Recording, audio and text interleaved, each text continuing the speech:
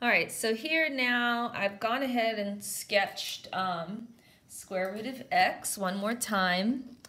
And I know I'm breaking it into four rectangles, so I use the same increments on this sketch. Now we're using right hand endpoints, so instead of starting at zero, I'm going to start at one fourth.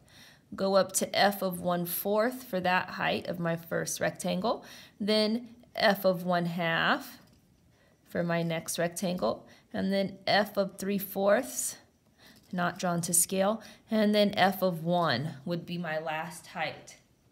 So um, we can see from our sketch that this is going to be an overestimate of our area, but let's go ahead and calculate it. Area using right-hand Riemann sums is approximately 1 fourth, which is the base of each of my rectangles, multiplied by f of 1 fourth plus f of 1 half plus f of 3 fourths plus f of 1. So area using my right-hand Riemann sums is approximately 1 fourth times square root 1 fourth plus square root 1 half plus square root 3 fourths plus square root 1.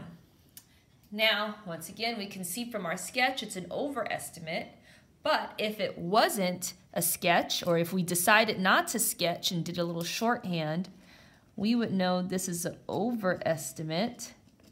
Oh yes, and this is units squared because it's area. Overestimate because we are increasing.